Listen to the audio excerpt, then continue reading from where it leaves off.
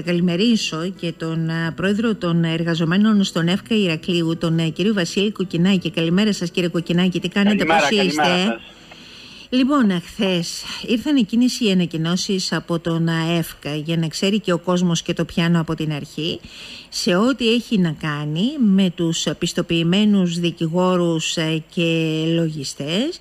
Ήταν αυτή η προσπάθεια την οποία και εσείς και εγώ και μαζί με τις ενώσεις συνταξιούχων ε, τα σωματεία των συνταξιούχων είχαμε κουβεντιάσει το πρώτο διάστημα καθώς υπήρχε η πρόθεση να μπουν και αυτοί οι άνθρωποι σε αυτή την περιπέτεια ε, της ε, απονομής των συντάξεων με την εξέταση των ε, φακέλων. Από ό,τι φαίνεται ωστόσο τα πράγματα δεν πήγαν ως τα περίμεναν γιατί μόνο ένας στους τρεις δικηγόρους λογιστές από αυτούς που τελικά πήραν μέρος χθες στις εξετάσεις του ΕΦΚΑ και με συνολικά μόλις το 15% όλων όσων αρχικά είχαν δηλώσει συμμετοχή στη διαδικασία θα λάβουν τελικά την πιστοποίηση για την έκδοση των εκκρεμών συντάξεων. Ο πρώτος κύκλος της εκπαίδευσης, πιστοποίησης, ολοκληρώθηκε χθες, μειωμένη συμμετοχή, έτσι μόλις 179 δικηγόροι, φοροτεχνικοί και λογιστές θα ενταχθούν μέσα στις επόμενες ημέρες σε αυτή τη διαδικασία.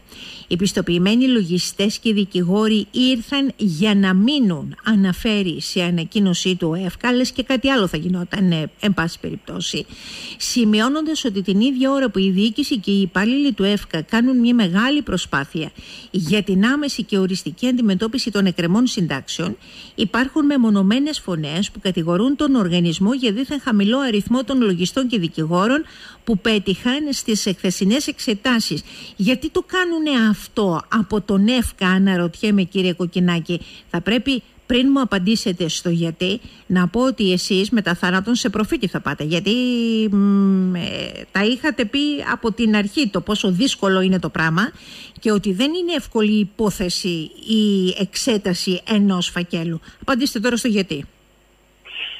Τουλάχιστον ε, η διοίκηση μας αναγνωρίζει ότι κάνουμε μια πολύ μεγάλη προσπάθεια εμείς ως εργαζόμενοι στο να βγουν αυτοί, αυτές οι εκκρεμείς συντάξεις.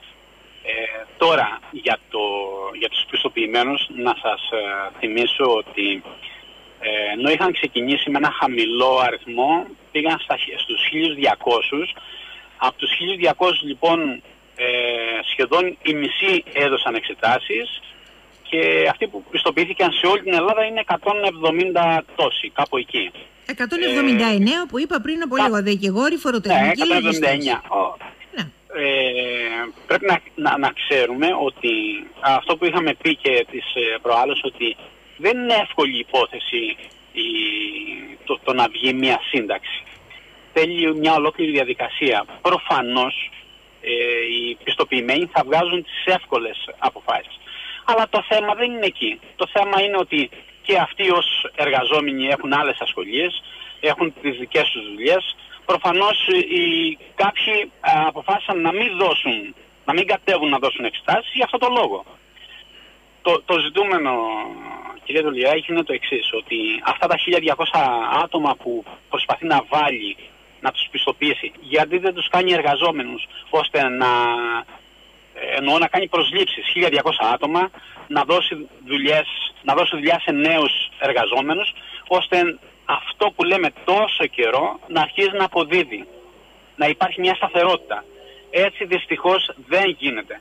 Έχει γιατί, ότι... γιατί θέλετε να πείτε θα εκπαιδευόταν αυτό το προσωπικό και αυτό το προσωπικό θα μπορούσε στη συνέχεια να αποδώσει τα μέγιστα. Όπως γίνεται τώρα με τους πιστοποιημένους θα γινόταν κάτι αντίστοιχο με τους νέους εργαζόμενους ώστε να μην έχουμε, να μην, ε, να μην κρέμονται ε, οι, οι συντάξεις από ξένους. Βέβαια γνωρίζετε ότι το Συνδικάτο έχει κάνει μια προσφυγή στο ΣΤΕΑ και αυτό εκδικάζεται στις 3 του Δεκέμβρη ε, ώστε να αποφανθεί αν είναι νόμιμο να δοθούν σε ιδιώτες οι, εκκρεμείς, οι συντάξεις. Ε, να σας πω ε, κάτι. περιμένουμε την απόφαση. Ε, ωραία, ωραία. Ε, αυτό είναι το ένα θέμα. Το θυμάμαι που μας το είχατε πει. Καλά κάνετε και το επαναλαμβάνετε, το υπενθυμίζετε εσείς για να το ξέρει και ο κόσμος.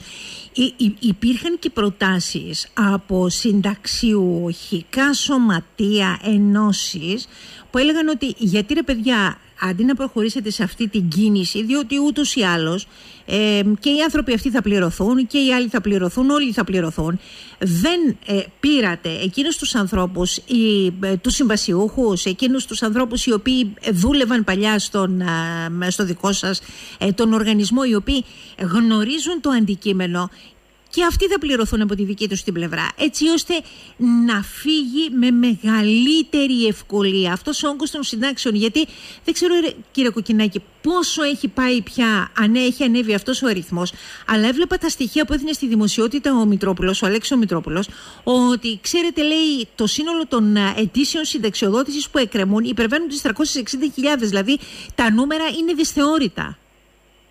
Γι' αυτό, αυτό λέμε ότι δυστυχώς ε, όσο μειώνεται το προσωπικό τόσο αυξάνονται και οι, οι, οι, οι, οι εκκρεμείς συντάξεις. Γιατί συνεχώς μπαίνουν νέες αιτήσεις μέσα. Δυστυχώς το, το έτος αυτό εδώ είναι οριακό γιατί ε, το έχουμε ξαναπεί ότι όλα τα ευεργετήματα που, έχει δώσει, που έχουν δώσει τελειώνουν στις 31 Δεκάτου. Δηλαδή πολλοί κόσμος θα κοιτάξει να φύγει μήπως κερδίσει κάτι. Αυτό ε, σημαίνει ότι θα έχουμε περισσότερες αιτήσεις μέχρι τέλος του χρόνου. Λιγότερο προσωπικό δυστυχώς αυξάνται, αντί να μειώνονται αυξάνται. Θα ξαναπώ πάλι ότι πέρυσι ο κύριος Βούρητης είχε πει ότι μέχρι τον Ιούνιο του 20 θα είχε καταφέρει να το φτιάξει αυτό το πράγμα. Δεν τα κατάφερε. Ερχόμαστε πάλι με τον κύριο Χατζηδάκη να τα ξαναδούμε αυτά από την αρχή, να ξανακούσουμε καινούριες εξαγγελίες, οι οποίες δυστυχώς Μακάρι να βγούμε ψεύτες, μακάρι να βγούμε ψεύτες, αλλά δυστυχώς όλα τα γεγονότα μας επιβεβαιώνουν ως εργαζόμενους. Mm. Δυστυχώς, αν δεν στελεχωθεί αυτό το οικοδόμημα που λέγεται ΕΦΚΑ με προσωπικό, δεν πρόκειται να δοθεί λύση. 360.000 σε όλη την Ελλάδα. Παραπάνω, παραπάνω από 360.000.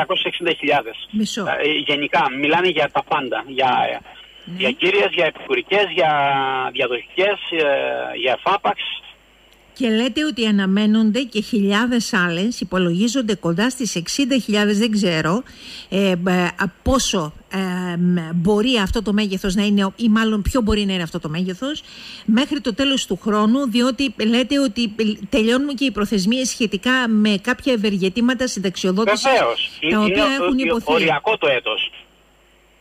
Μάλιστα.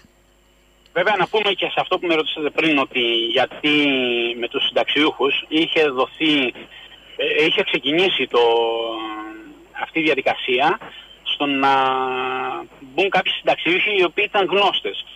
Για ποιο λόγο το σταματήσαν ενώ είχα, είχαν προχωρήσει στο ΦΕΚ ε, δεν, δεν το γνωρίζουμε.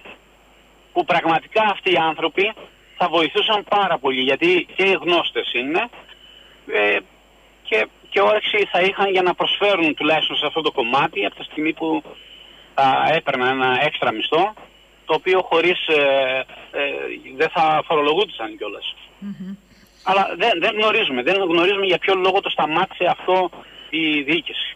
Το έχει σταματήσει, δεν το έχει προχωρήσει. Και αν έρθει 3 του Δεκέμβρη η απόφαση ε, του ΣΤΕ μετά την προσφυγή της Ομοσπονδίας σας, έτσι, να μην δοθούν α, οι φάκελοι αυτοί, η, η, η, εξέταση των φακέλων σε ιδιώτες, ε, σε περίπτωση δηλαδή που δικαιωθείτε ως εργαζόμενοι, καταλαβαίνετε ότι τα πράγματα είναι ακόμα πιο τραγικά. Φαντάζεσαι τι θα γίνει. Όλα αυτά θα είναι στον αέρα. Γι' αυτό επιμένουμε ως συνδικάτο να, να γίνουν οι απαραίτητες προσλήψεις ώστε να μην έχουμε τέτοια θέματα να προχωρήσει γιατί δυστυχώς αυτό το νούμερο είναι τρομακτικό για να μπορέσουν να, να λύσουν το πρόβλημα, η μόνη λύση είναι αυτό. Να πάρουν προσωπικό. Μπορείτε να δώσετε εξήγηση στο γιατί αυτή η αιμονή; Όχι προφητικά, αλλά γιατί αυτή η αιμονή; Να χειρίζεται έτσι την κατάσταση το Υπουργείο. Ο χθεσινός, ο σημερινός, ο αυριανός δεν είναι θέμα προσώπων ούτως ή άλλως. Όχι, αλλά είναι θέμα πολιτικής. Ακριβώς. Γιατί αυτή η διαχείριση όταν ξέρουν ότι υπάρχουν προτάσεις που μπορούν να περπατήσουν και είναι προτάσεις οι οποίες ουσιαστικά συγκλίνουν από όλους σας. Δυστυχώς, ε, κύριε Δουλγεράκη, έχει αποδειχθεί ότι ε, η ιδιωτικοποίηση δημόσιο φορέα ε, θέλουν να, να προχωρήσει. Ένα κομμάτι είναι και αυτό, το οποίο προφανώς θέλουν να το δώσουν στους ιδιώτες ώστε να μοιραστεί το χρήμα. Κάπως έτσι εμείς το φανταζόμαστε. Δεν θέλουν το δημόσιο κομμάτι όπως ήταν πριν.